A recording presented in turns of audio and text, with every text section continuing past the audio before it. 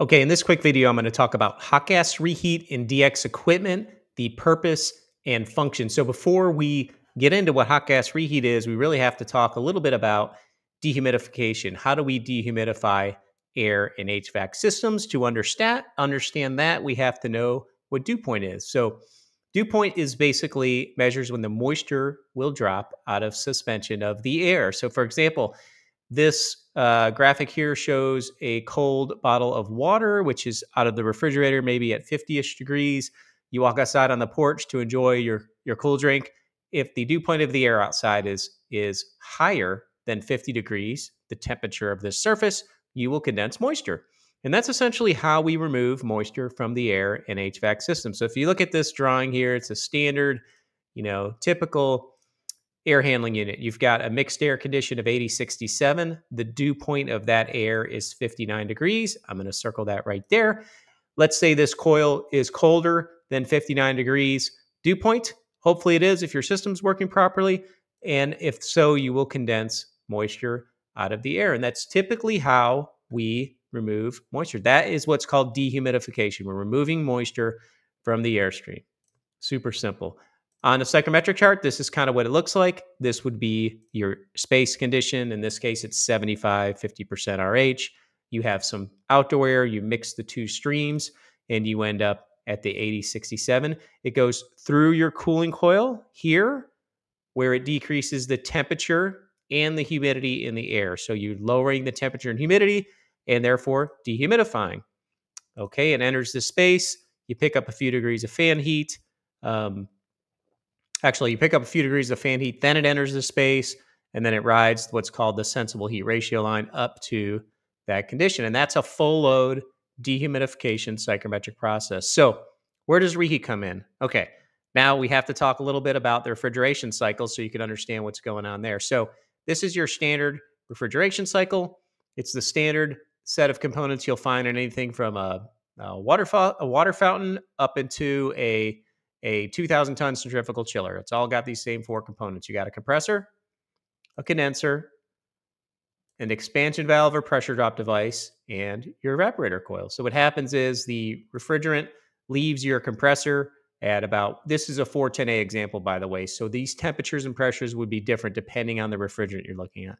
So 140 degrees ish, um, leaving the condenser around 100 degrees, and these are just you know ballpark numbers um, leaves the pressure drop device, it goes into the pressure drop device, decreases pressure and temperature. Now the refrigerant's in a state where it can absorb heat and change state, which is super important because when you change from a liquid to a, a gas, you absorb a lot of BTUs, and that's what happens there. So just so you know, to the pressures of the high side in a 410A is around 400, you know, 375 ish, something like that, at 120 entering the coil. So where does hot gas reheat come in, right? So here's where we use hot gas reheat. So let's say you had the same refrigeration circuit. Go ahead and blow that up here so we can see it. Let's say you're in a dehumidification cycle where you've got 45 degree leaving air temperature. So you've got a space, I don't know, some kind of pharmaceutical manufacturing where you need a cooler air, a lower dew point in the space. Now, at full load, it may be fine to pump in this 45 degree temperature air into the space. But at part load, you might overcool the space. So your choices are to, you know, turn off the compressor, which is not good if you're trying to dehumidify, or elevate the leaving air temperature by cycling or modulating the compressor, excuse me. That also is not good if you're trying to dehumidify. So this is where hot gas reheat comes in. Okay. So you've got this.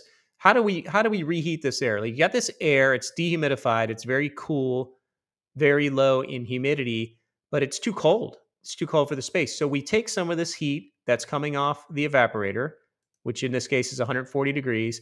We take that heat that we would normally reject to the relatively cool atmosphere in the condenser, and we just divert that over to another coil downstream of the cooling coil, which is, let me get my pen working here, which is right here, your hot gas reheat coil, right? So boom, that's where hot gas reheat comes in. So now we could take that air that's 45 degrees and through this three-way valve, we can modulate the refrigerant in a way that we can reheat the air basically wherever we need it up to, you know, 80-ish degrees, depending on the the the state of the system. Okay, so that's basically how that works. Here's how it looks on a psychrometric chart. So we get back to the psych chart and we take this condition here, goes to the cooling coil. It cools and dehumidifies to the cooling coil, which we show here. Now there's where the reheat comes in, which is this line from this point here to here. That would represent the hot gas reheat we just looked at, which was, you know, 45-ish up to 60, I believe, which are the temperatures down here. Now, a couple things to note. Reheating the air does not dehumidify the air. Okay. When you go from left to right on the psychometric chart, it's sensible cooling only, which means you don't remove any moisture.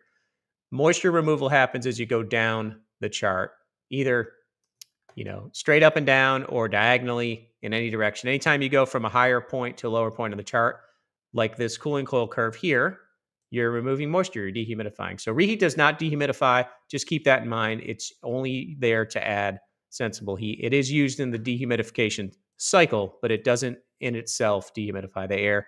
This yellow line represents a little bit of fan heat. And then this would be the space, the condition of the air going back into the space and then you would ride up the space SHR. In this case, an extreme part load, maybe a 0.53 SHR, which you don't see very often, but use that to illustrate the point of this slide. So thanks for watching. You can connect with us in any of these channels, our Insight Partners HVACT, HVAC TV YouTube channel. Um, you can check out our website, insightUSA.com, or you can check out the Engineers HVAC podcast, which is our podcast version of of these videos. So thank you so much for joining. We appreciate it. We hope you got something out of this. Thanks.